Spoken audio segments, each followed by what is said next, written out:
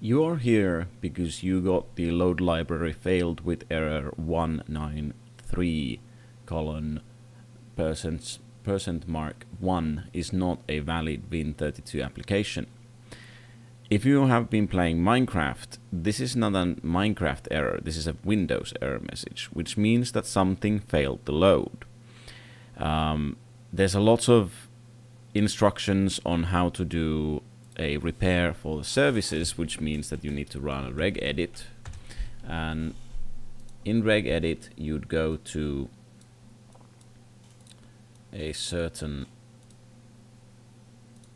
place. In this case, it's the HKey local machine system current control set services. But Minecraft is not a service, so you won't be able to fix it this way. Most likely there are a couple of problems that might make this happen. They are that you have Minecraft in program files and then you have a folder called program. So Windows loads the program first instead of the program files. And that's what the, the regedit uh, uh, instruction will tell you to, to remove. So you can rename this folder to, for example, program stuff if that's something that won't mess up with other files, and this might fix the issue.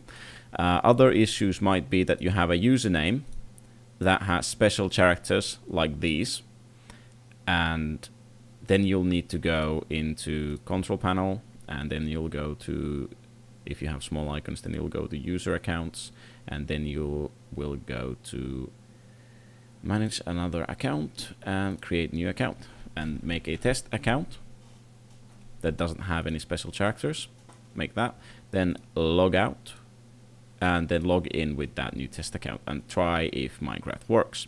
If it works, then the problem is with your username.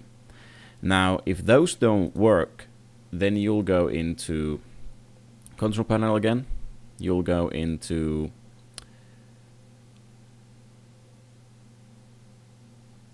add and remove programs once I find it. There we go and then remove both versions of Java if you have both versions of Java and then reinstall one at a time. Install the 32-bit, try if it works now, and then install the 64-bit, try if it works then, and if it works then it was the Java installation that was broken.